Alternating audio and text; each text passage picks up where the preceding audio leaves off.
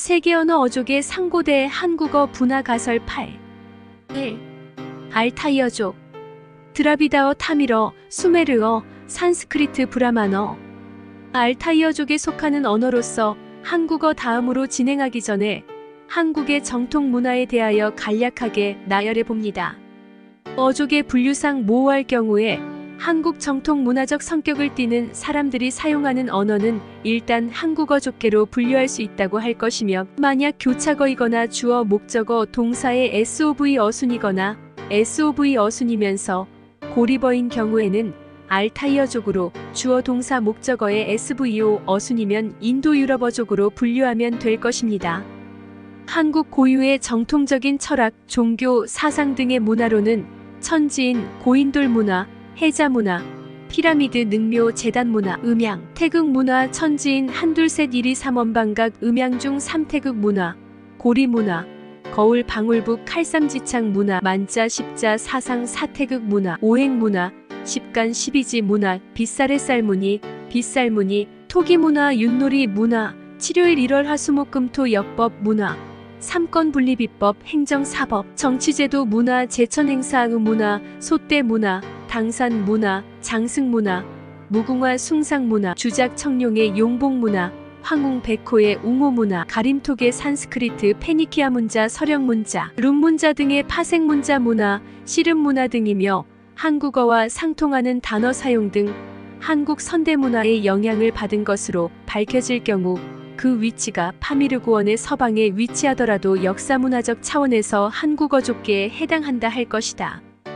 드라비다어 서기 전 8천년경 SOV 어순다양 타밀어 기본 어순 SOV 교착어 드라비다어는 서기 전 1만 년경부터 서기 전 8천년경의 마고 시대의 수도 역할을 하던 파미르고원의 마고성에서 오미의 난으로 인하여 실낙원이 되면서 분거하기 시작하여 서기 전 7천년경에 인더스강 유역에 정착한 흑소씨족의 언어라 할 것이다. 물론 그 이전인 파미르고원 시대에 하늘나라에 해당하는 당시의 수도이던 마고성에서 시행하던 순행제도에 의한 문화전파 또는 상호교류가 있었다고 볼 수 있다. 즉 서기전 1만 년 이전에도 인도 지역에는 파미르고원의 마고성의 지방도시가 되는 인간 문명 사회가 있었으면 파미르고원의 소위 하늘나라와 교통하고 있었다는 것이다.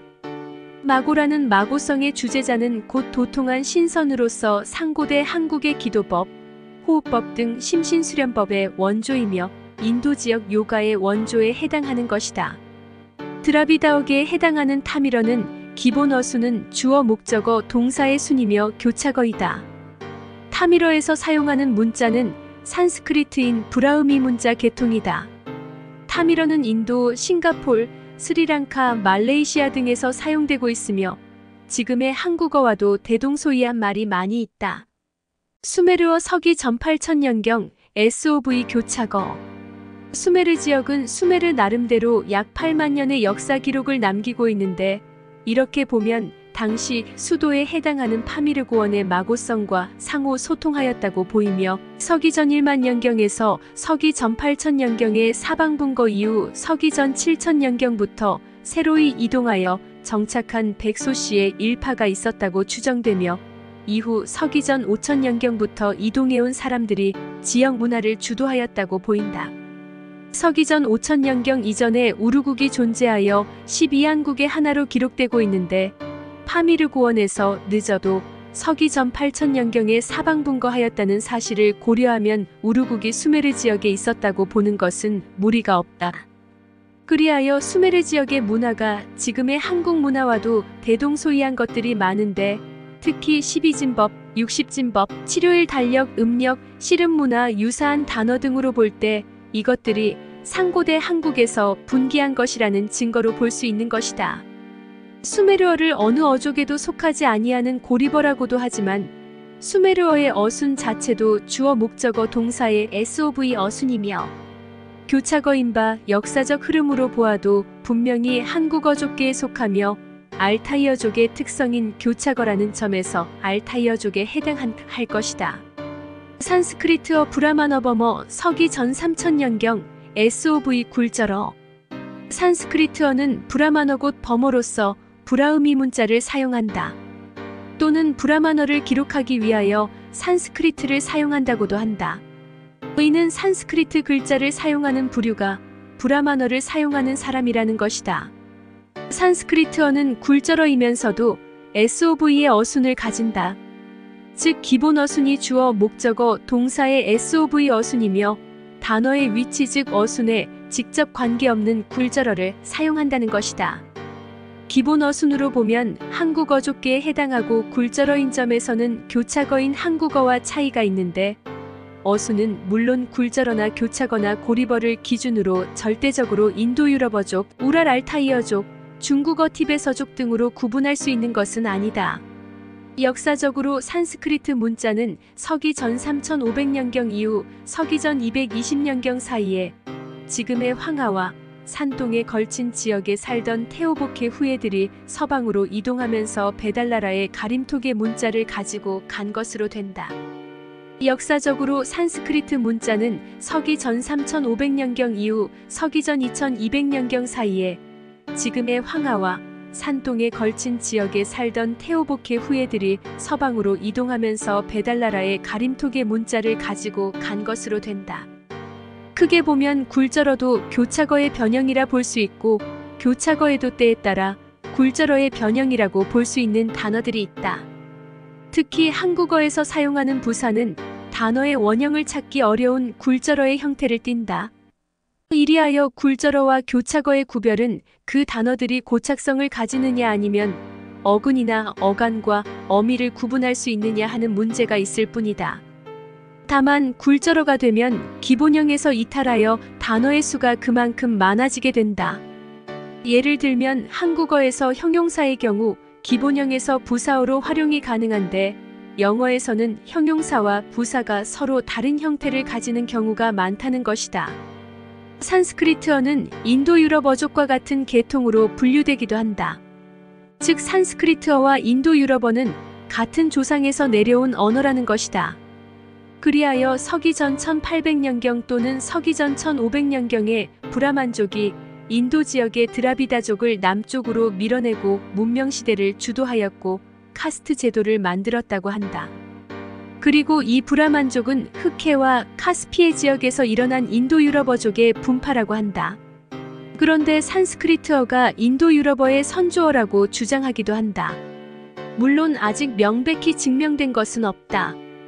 다만 역사적으로 살펴보면 인도 유럽 어족은 서기전 1만 년경에서 서기 전 8천 년경의 파미르 고원의 마고성에서 사방 분거할 때 서방으로 이동한 백소씨족일 가능성이 농후하며 이 백소씨족이 팽창하면서 서기 전 3500년경에서 서기 전 2200년경에 지금의 중국 내륙인 황하와 산동 지역에서 서방으로 이동한 태호복희 후예들과 혼합되어 인더스 지역으로 진출하였을 가능성도 있다.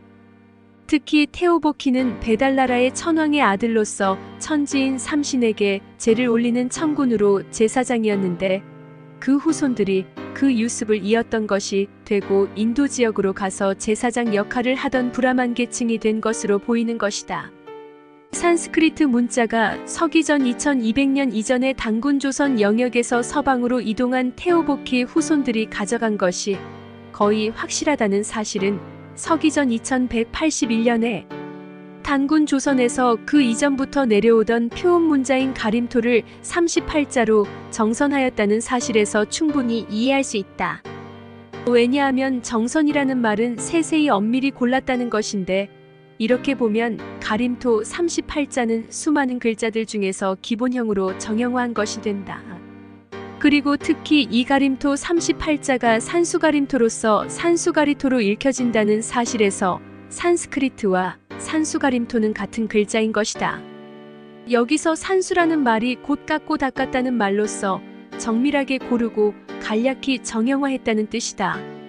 특히 브라미 숫자는 상고대 한국에서 사용하던 것과 동일하고 자연히 변화된 것이 분명하다.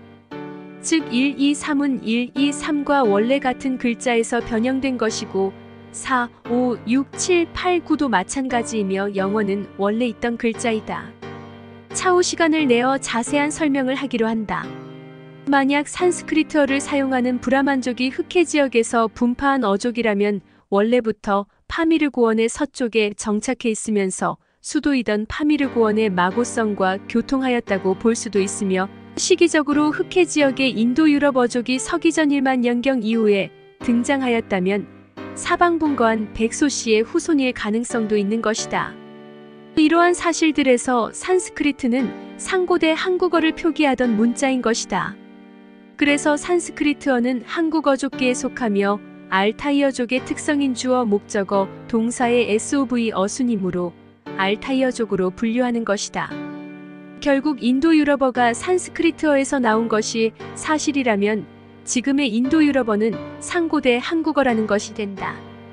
지금의 한국어는 한자어를 많이 사용하고 있어서 거의 알 수 없는데 상고대의 지금의 인도 유럽어와 어원을 같이 하는 단어를 사용하였을 수 있으며 영어 단어를 고려하면 늦게라도 근세 조선 이전의 중세 즉 서기 500년경 이후까지도 어원을 같이 하는 말을 사용하였을 수도 있다고 보이기도 한다.